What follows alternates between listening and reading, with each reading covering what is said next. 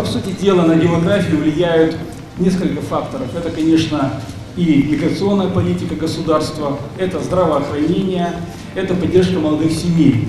Поэтому поддержка демографии – это комплексный подход всех органов госвласти и управления. Поэтому не зря правительство вырабатывает некоторые программы по поддержке молодых семей в том числе.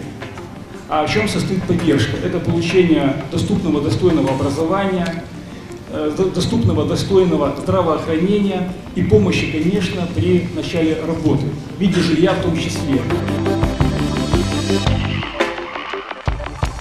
Радует, что именно были подтверждены мои слова как президента, что у нас в государстве создана общность «Приднестровский народ». Были, конечно, некорректный подход э, в части этого вопроса, и в чем он был заключен. Ну, задавали вопрос такого содержания. Кем вы считаете себя по национальности? Приднестровцем, русским, украинцем или молдаваном или иным? Но сам по себе, конечно, вопрос некорректный.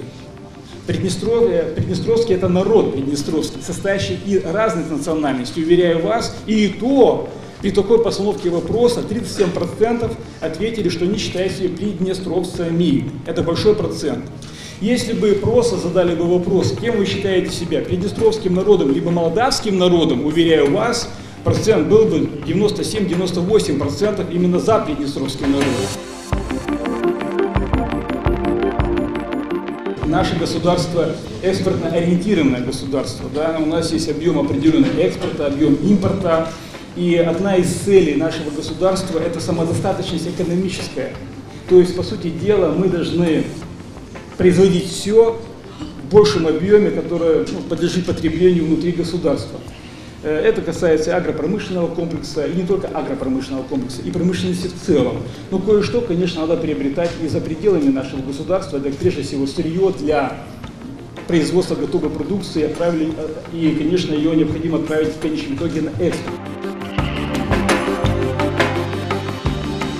Я глубоко убежден, что будущее в Приднестровье именно за бетонными дорогами, по новым технологиям, которые отработаны и в Европе, и, допустим, в Беларуси, в Белоруссии, и хороший есть показатель.